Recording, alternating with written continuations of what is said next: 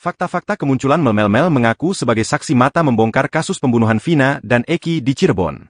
Diakui Mel-Mel sebelum pembunuhan, ia mengaku sebagai sosok terakhir yang bertemu Vina dan Eki bersama Linda. Ia ceritakan sebelum malam pembunuhan ditelepon oleh Eki untuk diajak keluar, saat itu Eki mengaku ada masalah dengan Pegi. Seusai bertemu, mereka lantas berpisah karena Mel-Mel membeli minum bersama Linda sedangkan Vina dan Eki melanjutkan perjalanan ke rumah. Seusai mengantarkan pulang Linda, Mel-Mel lantas berniat mencari keberadaan Eki, namun ia justru melihat Vina dan Eki dianiaya secara brutal. Pada momen itu Mel-Mel mengaku tak berani membantu Vina dan Eki, ia bahkan melihat sosok Saka Tatal dan Ucok yang kini jadi terpidana. Padahal sebelumnya, Saka Tatal mengaku sebagai korban salah tangkap dan mengaku tak kenal sosok Vina dan Eki.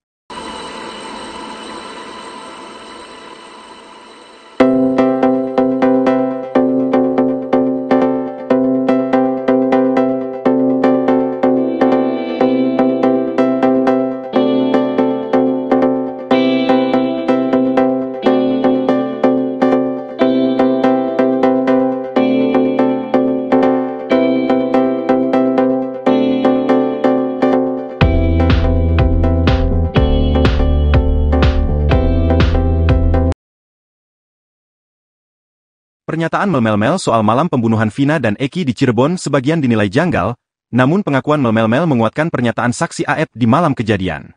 Sejak awal muncul, Mel-Mel mengaku dirinya adalah orang terakhir yang bersama Vina, Eki dan Linda, namun pihak Linda mengkonfirmasi jika dirinya di rumah.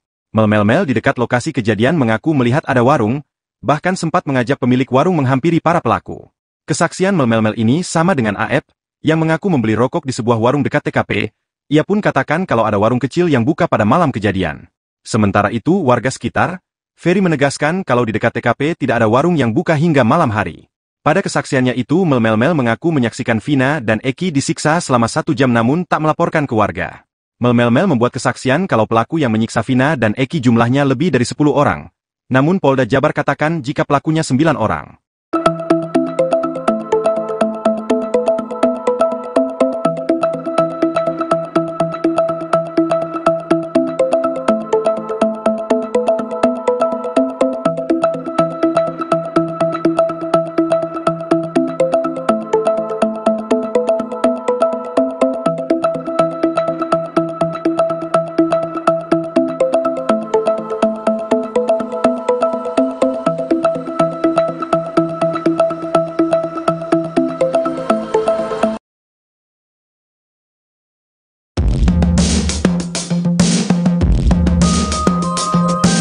Kuasa hukum Peggy Setiawan, Tony RM, mengatakan ada saksi kunci yang mematahkan bantahan Sakatatal.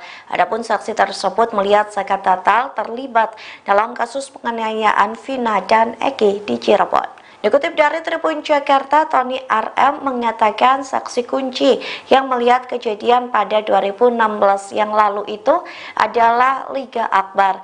Bahkan pernyataan Liga Akbar telah tertuang dalam isi putusan pengadilan saat menjadi saksi.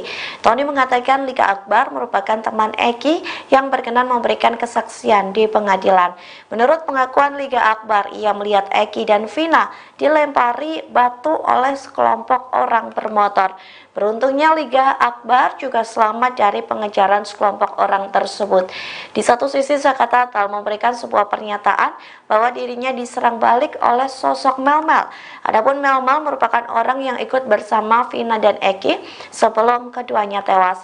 Namun hingga saat ini belum terungkap apakah sosok Melmel dan Liga Akbar merupakan orang yang sama. Sementara Melmel mengaku melihat Zakatal terlibat dalam penganiayaan Eki dan Vina di Cirebon. Kemunculan Mel-Mel di tengah pengungkapan kasus Vina Cirebon menuai perhatian publik. Mel-Mel mengaku melihat detik-detik kejadian pilu yang dialami Eki dan Vina pada tahun 2016. Bahkan Mel-Mel mengatakan bahwa Eki sempat bercerita jika sedang ada masalah dengan seseorang bernama Egi. Dalam pengakuannya itu, Mel-Mel menyebut dirinya saat itu bersama Eki dan Vina sebelum kejadian. Mereka bertemu di sebuah taman hingga kemudian jalan-jalan. Saat itu Eki berboncengan dengan Vina sedangkan Mel-Mel bersama Linda. Sebelum pukul 23 WIB, Vina mengajak pulang lantaran sudah malam. Pada saat perjalanan pulang, Eki dan Vina berpisah dengan Mel-Mel dan Linda. Pasalnya, Mel Mel dan Linda kala itu hendak mengisi bensin. Mel Mel mengaku sudah berbicara dengan Eki jika dirinya hendak mengisi bensin. Namun saat sudah di pom bensin, Eki dan Vina justru terus melaju. Singkat cerita, Mel Mel mengaku melihat Eki dibawa pelaku masuk ke dalam gang bakti 1 di samping SMP 11 Cirebon. Di lokasi itu korban mengalami penganiayaan. Mel Mel juga mengaku saat itu ketakutan karena sendirian dan suasana sepi. Apa yang diungkapkan Mel Mel nampak sedikit ada kemiripan dengan apa yang disampaikan Liga Akbar Cahyana alias Gaga Awot. Dalam berkas putusan, Gaga Awot nampak menjadi orang terakhir yang bersama Vina dan Eki. Namun dalam keterangannya, Gaga Awot tak menyebutkan nama Linda. Hanya saja, Gaga Awot menyebut jika saat itu dirinya diminta korban untuk mengantar pulang pada pukul 20.45 waktu Indonesia Barat. Saat mereka melintasi Jalan Perjuangan Majasem, Kecamatan Kesambi, Kota Cirebon, tepatnya di depan SMPN 11 sekitar pukul 21.15. WID, ada beberapa anak muda yang mengobrol dan melempari mereka dengan batu. Beberapa anak muda itu juga berteriak, woi woi, hingga kemudian Eki dan Vina kabur karena dikejar.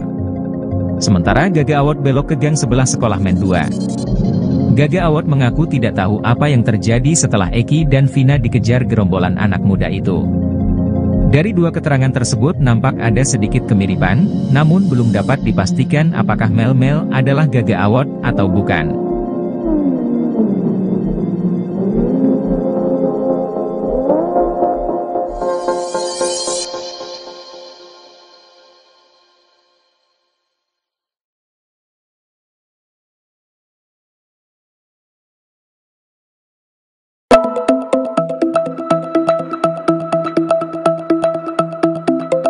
Soal sperma di tubuh Vina, polisi akan kaji ulang setelah sebelumnya sempat sebut pergi pelakunya. Adapun polemik adanya penemuan sperma di tubuh Vina kembali diungkit dan bakal dikaji ulang. Kini, polisi akan melakukan pengujian ulang untuk mencari siapa pemilik sperma yang menempel di tubuh Vina. Di mana diketahui sebelumnya, Vina Cirebon ditemukan tidak bernyawa dengan hasil visum menunjukkan adanya sperma di tubuh korban. Pada kasus sebelumnya, hanya diungkap terkait kasus pembunuhan saja, namun terkait kasus pemerkosaan belum menemukan titik terang. Bukti adanya temuan cairan sperma itu berdasarkan hasil visum terhadap jenazah Vina Cirebon yang dilakukan 8 tahun lalu. Polisi mengaku kesulitan untuk mengungkap siapa pemilik sperma yang ada di tubuh Vina, namun polisi telah menetapkan Pegi Setiawan sebagai dalangnya.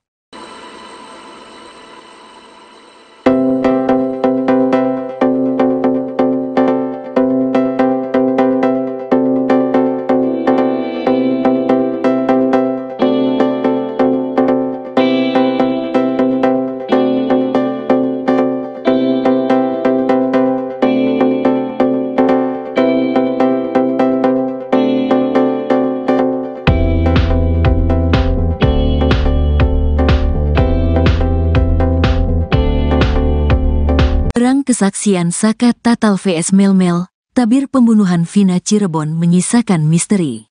Sembilan pelaku pembunuhan Vina Cirebon yang kini sudah diamankan polisi dan delapan di antaranya telah difonis pengadilan rupanya tak membuat publik puas. Bahkan, munculnya berbagai sosok baru yang membuat kesaksian di hadapan publik dalam kasus pembunuhan yang terjadi pada tanggal 27 Agustus tahun 2016 silam malah membuat kasus ini semakin rumit. Tabir pembunuhan Vina Cirebon tersebut kini malah menyisakan misteri.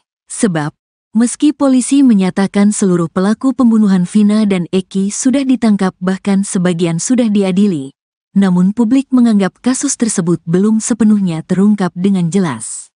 Kemunculan Mel-Mel, sosok baru yang mengaku melihat langsung pembunuhan korban Vina dan Eki semakin menambah rumit alur cerita yang sebenarnya terjadi pada delapan tahun lalu. Bahkan, kesaksian Mel-Mel seolah perang, alias tak sejalan dengan kesaksian mantan terpidana kasus Vina Cirebon, Saka Tatal. Kepada publik, Mel-Mel mengaku bisa melihat wajah para pelaku dengan jelas saat menyimpan Vina dan Eki di TKP Flyover Talun. Sebab, kata dia, area lokasi pembuangan jasad Vina dan Eki cukup terang sehingga ia bisa melihat sosok pelaku dengan jelas. Menurut Mel-Mel, jika beberapa terpidana yang dipenjara saat ini ada di lokasi kejadian. Bahkan Mel-Mel mengaku melihat Saka Tatal. Saka Tatal ada, Saya bisa mempertanggungjawabkan. Saka Tatal terus yang saya tahu di Ucok. Entah siapa panggilannya di geng motor saya nggak tahu. Kata dia dilansir tribunnewsbogor.com dari akun YouTube Tiffen. Kesaksian Mimel justru berbanding terbalik dengan cerita mantan terpidana kasus Vina Cirebon Saka Tatal. Diwawancarai kanal YouTube TV One News, Saka Tatal mengurai cerita berbeda soal keberadaannya di malam pembunuhan Vina Cirebon.